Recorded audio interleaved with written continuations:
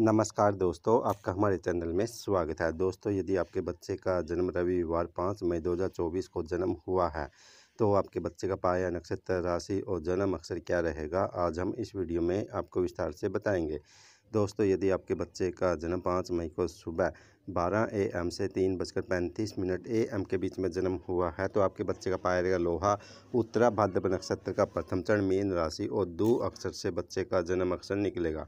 और यदि आपके बच्चे का जन्म तीन बजकर छत्तीस मिनट ए एम से नौ बजकर तीन मिनट ए एम के बीच में जन्म हुआ है।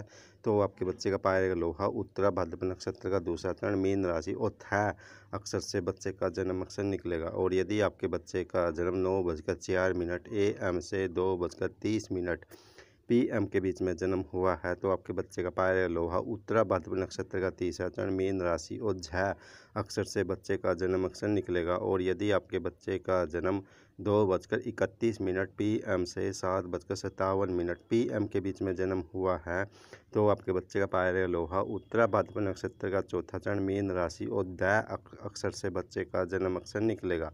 और यदि आपके बच्चे का जन्म सात बजकर अठावन मिनट पी एम से एक बजकर चौबीस मिनट ए एम छः मई 2024 को जन्म हुआ है। तो आपके बच्चे का पाया गया स्वर्ण रेवती नक्षत्र का प्रथम चरण, मीन राशि और दे अक्षर से बच्चे का जन्म अक्षर निकलेगा। धन्यवाद।